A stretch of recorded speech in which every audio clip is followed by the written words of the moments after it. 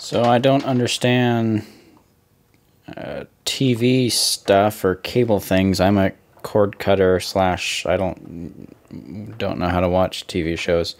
So this is apparently a power inserter for something to do with DirecTV.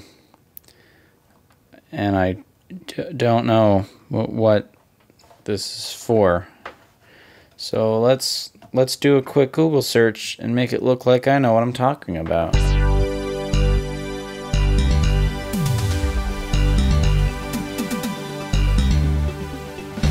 Signal to IRD's power to S W. The heck do you those things? As Jamiano ODU only. Yeah, we could pretend I know what that is, but no, I don't. So this is for powering the dish. You put this in line.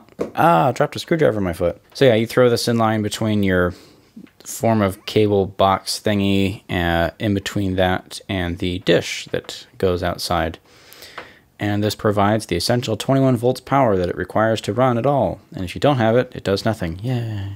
So let's take off some of the cords and pop it open. Can't get the coax off. Okay, now that I can hold this to the camera without the dumb coax on it, it works from 2 to like 2.15 gigahertz, lose about 1.5 dB of signal, but you can't run without this or some sort of equivalent, so you expect that you expect that loss already. It's 100 to 120 volts at 60 hertz. Um, and since its output is 21 volts at 1.2 amps and it weighs nothing, we know it's a switch mode power supply. Don't open this because I will get shocked and die, so let's open it up. Liked one of the Amazon reviews. It's like, uh, yeah, my cable company failed to provide me with this, so my TV wasn't working. As soon as I found out I needed one of these and installed it, it worked great. It's like, well, that's lovely. So you do everything yourself, man. All right, covers off. Here's our little, what do we call those little light pipe diffuser things that uh, makes the LED visible through the case. Okay, I'll just drop that. And here's what just looks like a really basic switch mode power supply and almost nothing for the RF side of things.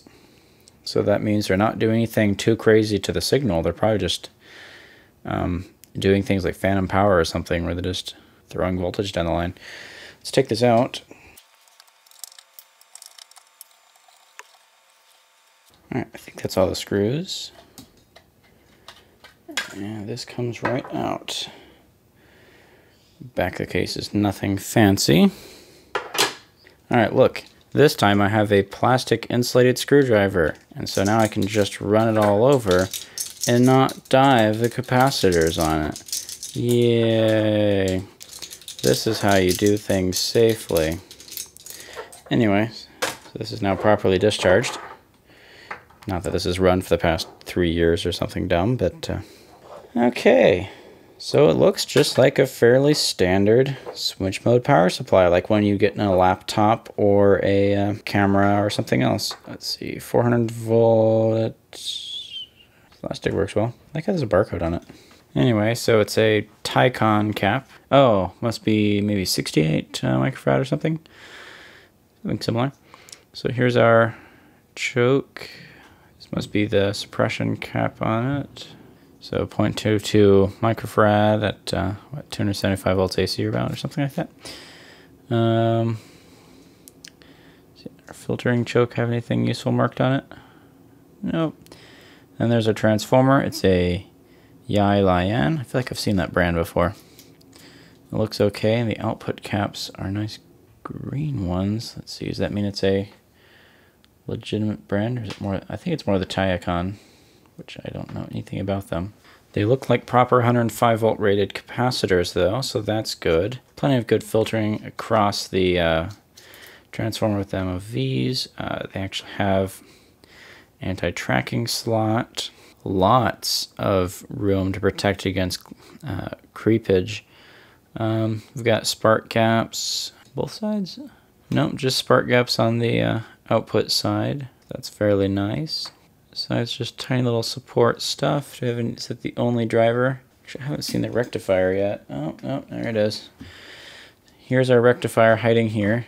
See, it's got the four posts to it. Yeah, it's not high enough power to heat sink. Oh, there's two transistor type devices or whatever they would be.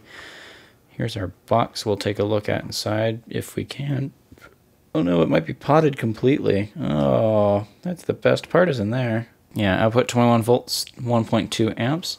I bet you that you could yeah, this box has to be doing all the RF magic. So you could just take these off and you've got a power supply right here. Just this is a probably off-the-shelf power supply, probably for a laptop. Is there a marking we could look it up with?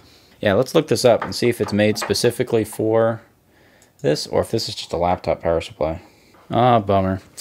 Can't find anything specific to this one, but it's a yeah, it's a Gentek JTP 0713C. Wait a darn second. If we look on the power supply right here, oh, this thing's magnetic. If we look on the power supply right here, 100 to 240 volts AC, 0.6 amps, 50, 60 hertz. This is a generic universal power supply with this little box strapped right on. So the casing says it can only operate here, which might maybe have something to do with, I don't know, regulations with how that works or something. But there's no reason this won't work universally. So if you want, and it works out that you can cheaply get these power inserters, and they're the high-end-ish ones, you can buy it and just turn it into a nice little laptop power supply if you have a laptop that charges off 21 volts, but it's probably out there, or some sort of similar device that needs around that amount of probably very well regulated stuff. I mean, everything on here looks nice. Like I said, we can just unscrew this and unsolder this. This box, sadly, I don't think I can get into. Everything on here just looks like a normal high-end switch mode power supply. So that is a very cheap way to get one of these.